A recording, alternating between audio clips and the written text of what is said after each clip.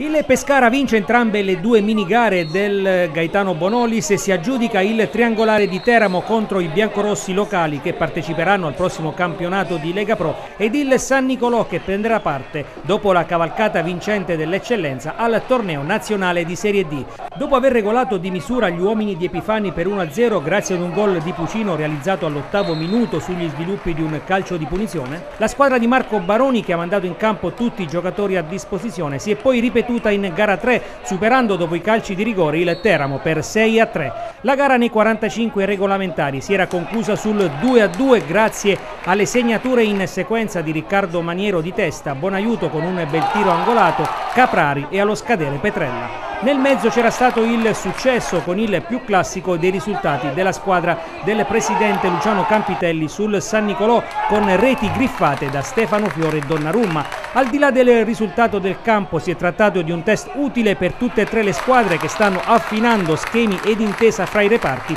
alla vigilia dell'avvio dei rispettivi tornei. Buona anche la presenza di pubblico sugli spalti con quasi 2000 spettatori, fra cui oltre 500 tifosi giunti da Pescara.